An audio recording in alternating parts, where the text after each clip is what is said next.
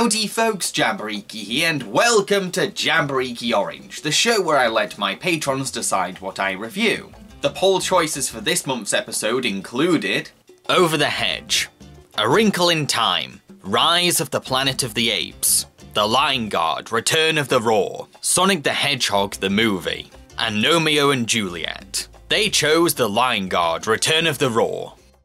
The Lion Guard Return of the Roar is a pilot movie for the Lion Guard TV show, which serves as a midquel to The Lion King 2. In this show, we discover that Simba and Nala had a son called Kion, an energetic cub who discovers that he has the powerful roar of the elders, meaning that he is gifted with the chance to restore the long dismantled Lion Guard. You see, years ago, Scar once had this same roar, was given the opportunity to lead the Lion Guard, who were assigned to protect the Pride Lands, but Scar abused his position of power by ordering the Guard to kill Mufasa.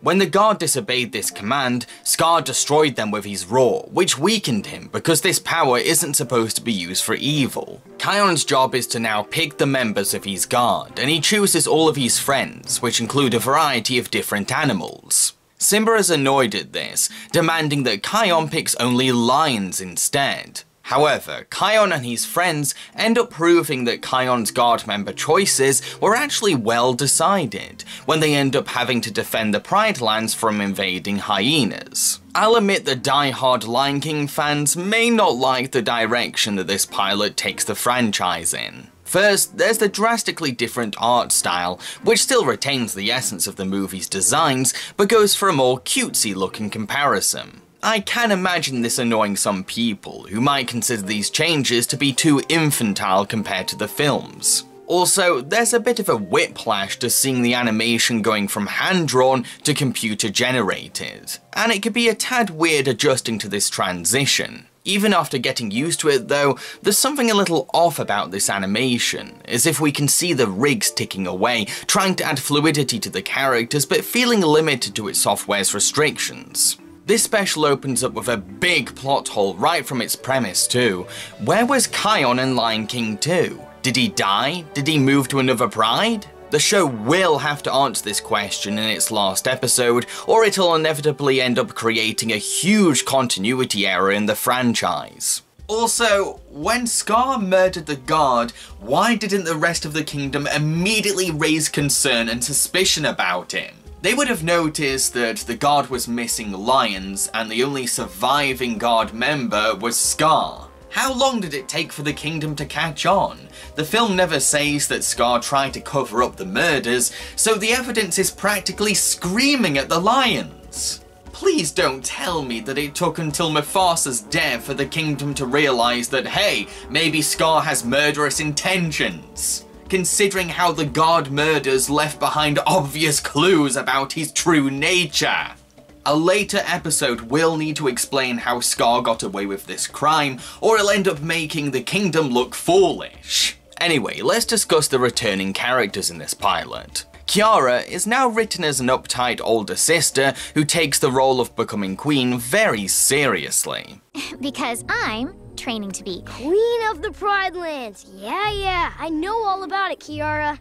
Oh, At least I have my life figured out. Which is quite out of character, as Kiara was always more focused on her passions for hunting and exploring than her destiny in royalty.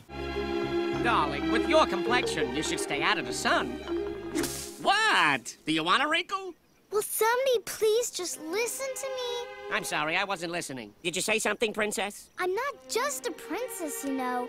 That's only half of who I am. This pampered daddy's little girl take on Kiara could become grating as episodes go on, unless we discover that this is just a short phase in her growing up arc. Simba is mainly in the pilot to give a backstory to the guard and serve as a naysayer for Kion's unconventional team choices. His prejudices against other animals joining the Lion Guard make sense, because Simba is capable of bigotry, as demonstrated in the second film. However, much like that chapter of this franchise, it's Simba's offspring that teaches him to be more open-minded about other races. Although, did Simba really need to end up learning this same lesson twice? Timon and Pumbaa are back too, playing babysitter as usual and actually doing a decent job this time. But what's weird is that they are sort of guardians to a honey badger called Bunga. It's never explained how or why they adopted him, which is super strange, but perhaps we'll get a backstory for this setup in a later episode. What about the new characters though? Are they any likable? Personally, I only thought Bunga, who serves as a comic relief for the show, was obnoxious. He's always loudly shouting about his excitement over everything. This is unbelievable! Trying way too hard to force his catchphrase into a thing. It's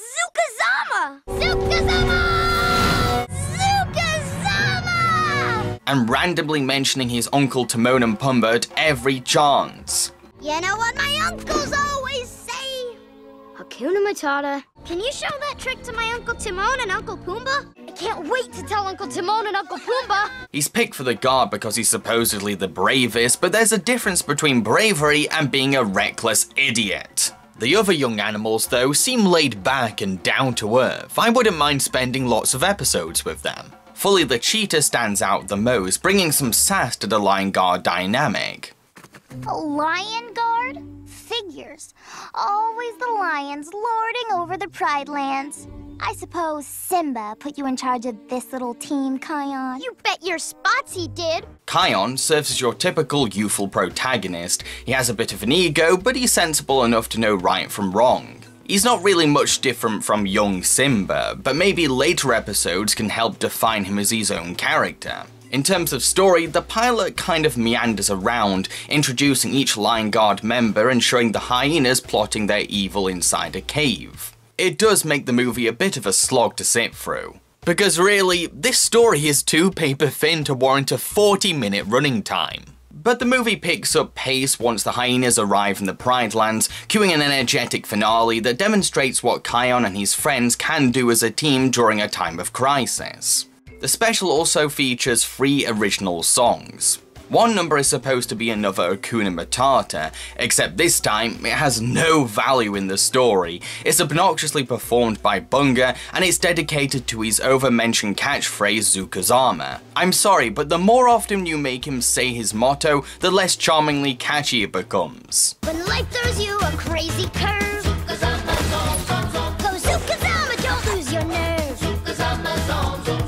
Tonight We Strike, a song sung by the Hyenas, is trying to recapture Be Prepared, but it's about as intimidating as a nursery rhyme, right down to the silly laughing noises. We go where we want when we want to, and we eat just we eat as we please. That Kion can't give us a curfew or tell us to stay in the trees. Tonight we strike, tonight we strike.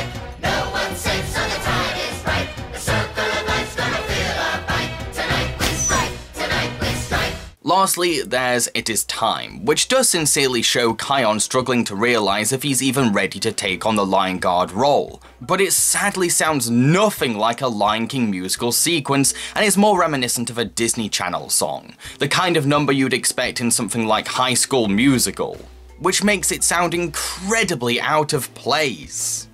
Now what? What should I do? I turn to? Now everything feels so upside down.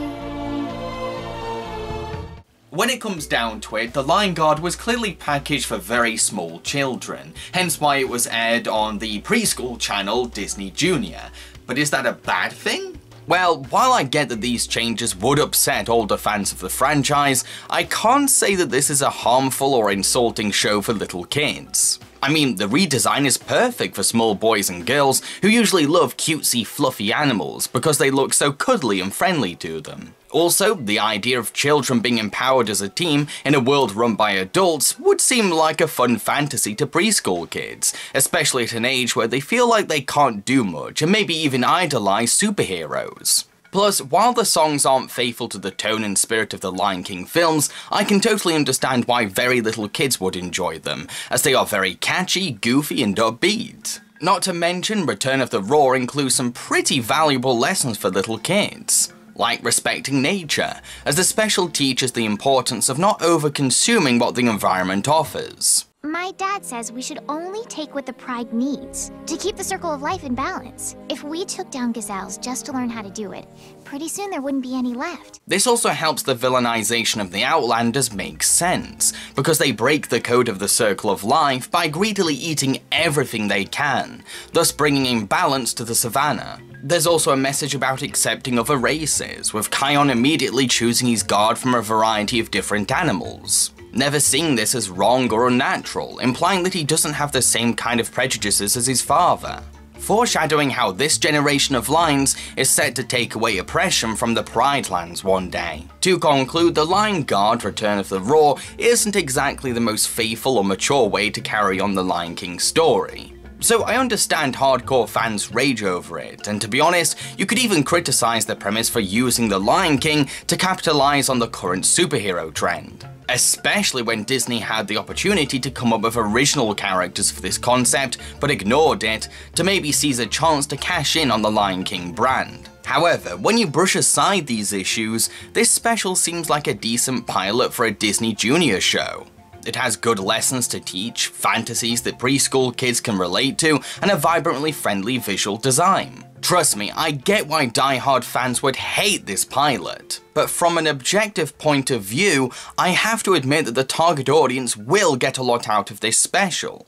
I've been Jambareeqi and I hope you enjoyed this review. If you did then feel free to subscribe to my channel. So, what am I going to be reviewing in the next episode of Jambareeqi Orange? Well, that's entirely up to my patrons. The poll choices for next month's episode include Sinbad, Legend of the Seven Seas, Descendants 2, Tom and Jerry, The Magic Ring, The Avengers, The Secret Life of Pets, and The Illusionist. Some pretty exciting options there, am I right? So keep in mind that only patrons can access the poll. What is a patron? Don't worry, I'll explain. This is my Patreon. It's a site for my fans to make monthly donations to me. Those who donate are called patrons. The money I receive goes towards funding my videos and serves as a supportive income for me. Patrons can donate as much as they want each month and stop donating any time. All donations are greatly appreciated, and in return for their patronage, patrons are given exciting rewards, depending on how much they donate, including their names credited in my main show, access to exclusive videos, and the chance to decide a review on my channel. Very excited to find out which film I'll be reviewing next on this show. Cheerio, folks.